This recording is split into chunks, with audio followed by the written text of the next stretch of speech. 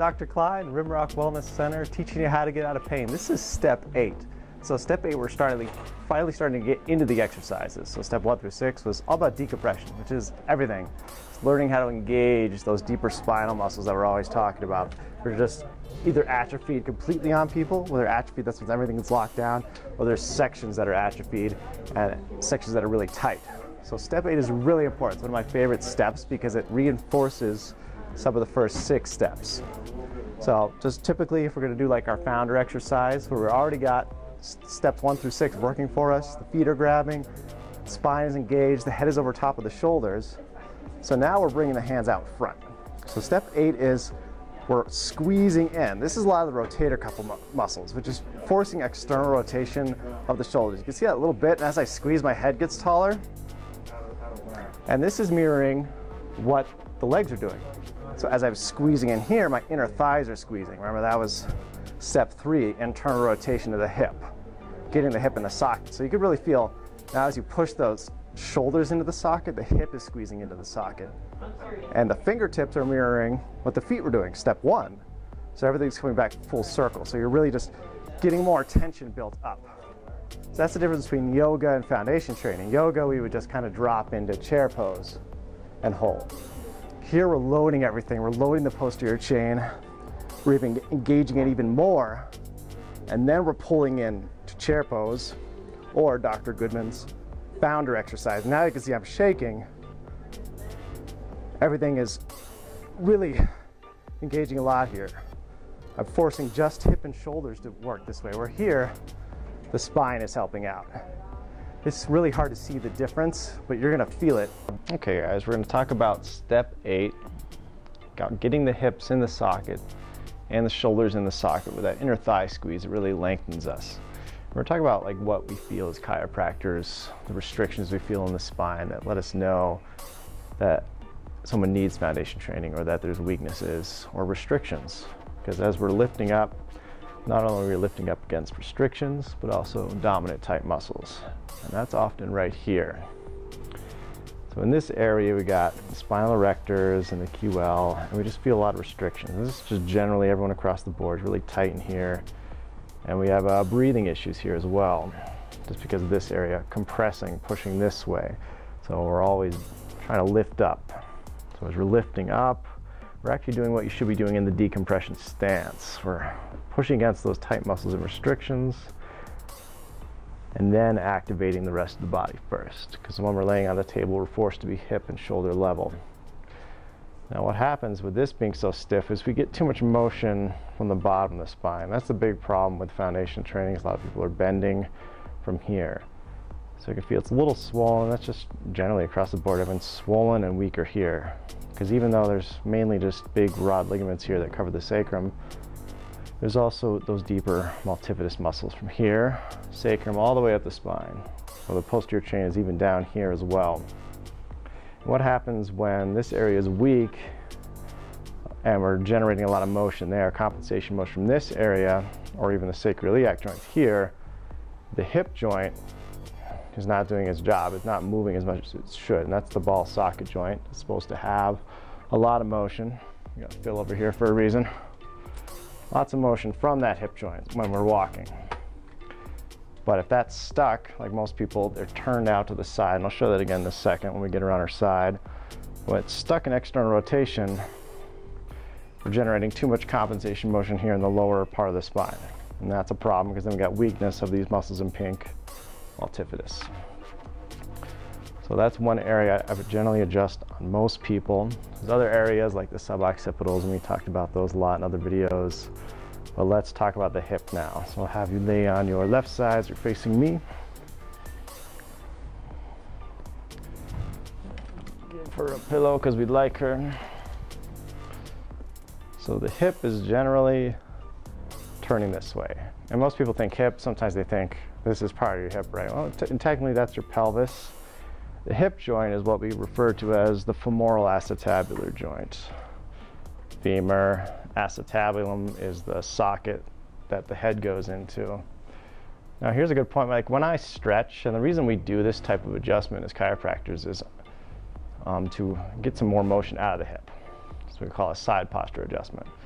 But when I do a stretch, I'm actually holding her pelvis. So I'm actually locking this SI joint down and the lumbar area down by holding and supporting there. So now when I pull the hip, or even do this with my leg, most people don't like it when I do that because it's a lot of stretch. I'm forcing just the hip to stretch. So right here where I'm dragging my forearm is all those tight muscles. And there's a lot there. There's about so really quick, one reason why like a super athlete or somebody does yoga a lot, triathlon, you know, doing a lot of biking or even people work out a lot, generate so much motion here in the lower back and the pelvis is tucking off uh, often that the hip here, the socket, is not getting true range of motion. It's all being robbed from here. So these people, when we get them in the side posture position, all the bending happens from the spine. I can't even do it on the model really, but see how those joints open up a little bit. So that's straining the joint capsule tissue. So they don't even move because there's such severe hypermobility, too much motion here in the SI joint, and severe restriction at the same time. So they feel stuck, they feel locked up, they feel like they need to move, but they can't ever get it. So you might be one of these people, or you might know these people who lay on the table with nothing's happening. That's what's going on, and that's just going to keep contrasting getting worse and worse as we go until we bring stability and strength in this low back to act as a stabilizing structure so we can increase more hip motion. It's the little things. It's when you're walking, it's when you're bending, creating good proper movement. Because even if they're an athlete working out all the time and have six packs of abs, six pack abs, they can't, they still don't know how to move correctly. And that's the big caveat. And I want to help you guys out because you're my target audience is helping people who are already committed and working hard to bring stability. So work smarter, not harder. That's the take home here with the hips and lower back stability. Uh, piriformis is the one many people know because that has a tendency to clamp down on your sciatic nerve depending on how that's all situated. And generally we're just weaker on the inner thigh muscles. The iliopsoas and the adductors tend to be weaker and those are the muscles that help turn the hip inwards. As chiropractors, we're trying to do the job to help loosen things up. The reason things are restricted at the time is just because not, we're not moving correctly. So we need to get some more motion, but we also need to strengthen as well. So when we do the side posture here, we're taking that hip and that pelvis, pushing it into the right direction, trying to get more movement here, and readjusting that sacrum too, so that's in line. So they're moving correctly, but if the weak, weakened muscles aren't rebalanced, doesn't matter how much we stretch or how much we realign things, you still have to teach those muscles to be strong. I don't think you can do that. Get you back on your stomach one more time. Our job as chiropractors is to level out the pelvis, make sure the legs are even. We're also checking for any neurological things too neurological reflex let us know where to work. Just doing that a little bit, this actually feels much better in here. I don't even feel the need to adjust as much so that it shows me that just stretching those hips out on that one side that was tighter helped this area. That's the whole point of going to the chiropractor, to loosen up those areas. And then it's best to do some strengthening. I would even say do a couple founders right before you get adjusted then a couple right after. Feel the difference there. That's going to help retrain your body how to move correctly and really reapplying step A to the founder here and then adding that little squeezer, squeezing the inner thigh, you're pulling the hip into the socket. And also, you know, the shoulders, which we didn't talk too much about right now, that also is doing the same thing, opening, squeezing it into the socket. Because hips and shoulders, once they're in the socket, they're moving as they're correct. But correctly, but when they're not in the socket, that's when it robs motion from the spine. And that's actually probably 90% of the reason why we find what we do in people. Come to the chiropractor next time, same stuff is there. Why? Got it back in place, something pulled it back out again. And usually it's, I didn't do anything, is usually what we hear. It's that you didn't strengthen those weaker muscles to bring stability to hold it back in place. And that's the missing key across the board that everyone's missing. Because I'm finding the same areas that are locked up. And this is how I learned these exercises for myself to get out of pain. If I'm 90% of people have these reoccurring conditions, I started thinking, well, I probably have them too. It's just hard to adjust yourself and evaluate yourself. So not putting the cart before the horse by addressing all the postural symptoms like pelvic tilt. We're addressing simply the weakness in the spine.